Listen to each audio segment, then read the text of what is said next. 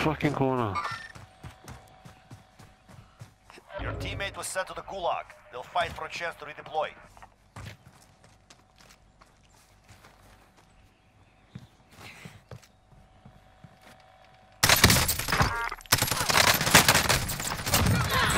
Oh, no way.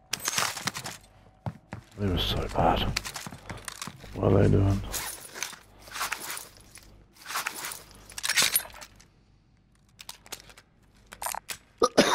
Hmm.